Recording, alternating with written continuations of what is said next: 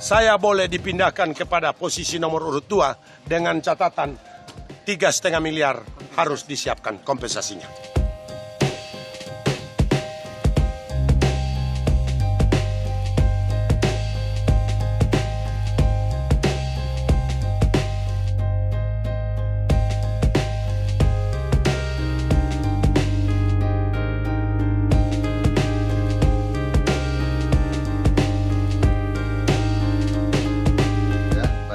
Kasih. Perlu kita sampaikan, saya bersama Ibu Sri Wahyuni Herman sebagai Bacalek ah, Kabupaten Indramayu dan Bacalek Provinsi perlu klarifikasi terkait tudingan mahar yang disampaikan oleh Pak Haji Ibrahim itu sangat tidak benar adanya. Dari DPW menyampaikan ke kami bahwa tidak pernah ada yang namanya rapat untuk membicarakan terkait dengan nomor urut yang akan diberikan kepada Pak Ibrahim dari nomor 3 ke nomor 2 yang disampaikan Pak Ibrahim kemarin. DPW Partai Nasdem dengan tegas tidak pernah ada rapat. Sekali lagi itu.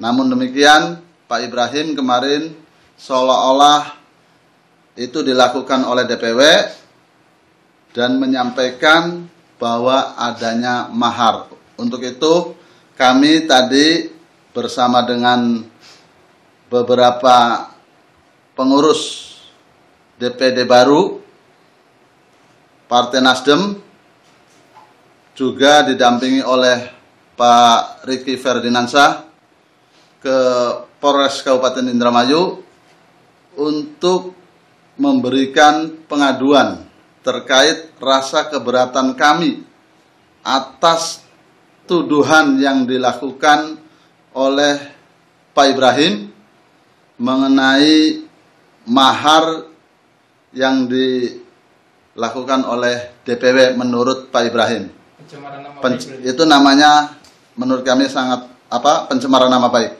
Untuk itu kami tadi sudah melakukan pelaporan supaya dari pihak Polres Kabupaten Indramayu untuk menindaklanjuti bagaimana proses hukumnya orang yang sudah menyampaikan pencemaran nama baik ini.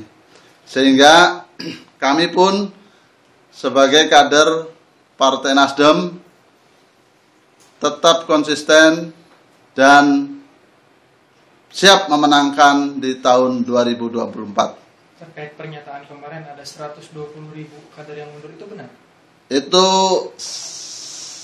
menurut kami sangat tidak benar adanya. Karena para bacalek Nasdem di Kabupaten Indramayu 50% yang fight itu masih bersama kita untuk tetap melanjutkan di pencalegan 2024 melalui Partai Nasdem. melalui Partai Nasdem. Yang kemarin itu adalah para bacalek-bacalek yang memang hanya dipasang ataupun eh, untuk pelengkap. Iya, untuk pelengkap supaya memenuhi memenuhi kuota 50 bacalek. bacalek. Itu kita tahu di dalamnya ada beberapa yang hanya mengharapkan eh, semua pembiayaan itu dari Pak Ibrahim. oh berarti hanya sebagian kecil yang Sangat sebagian kecil. Baik struktur DPRT pun kita sudah mulai merayap ke bawah dan mereka masih siap bersatu untuk memenangkan Partai Nasdem di Kabupaten Indramayu. Sendiri apakah masih lengkap DPC. ya Untuk DPC, insya Allah eh, sebagian besar masih siap untuk bergabung di Partai Nasdem. Tapi eh, tembusannya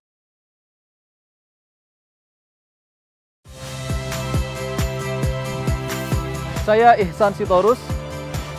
Saksikan program-program Kompas TV melalui siaran digital, pay TV dan media streaming lainnya. Kompas TV, independen, terpercaya.